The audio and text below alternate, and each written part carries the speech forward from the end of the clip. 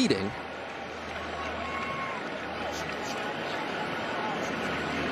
Just took a huge shot. Just took a huge shot, coach. Hmm. That was E.J. Jackson that shoved Buchner out late. Freeman was there trying to grab him, and boom.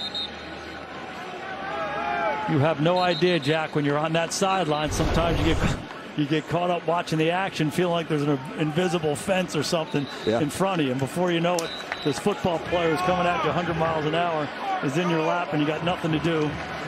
Hopefully he's okay. He's bloodied on the sticks before a third and three.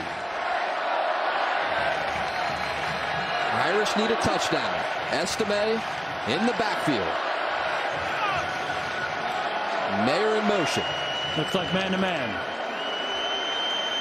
Here's Buchner. Pressure coming. Buchner stands in and fires his balls. Intercepted.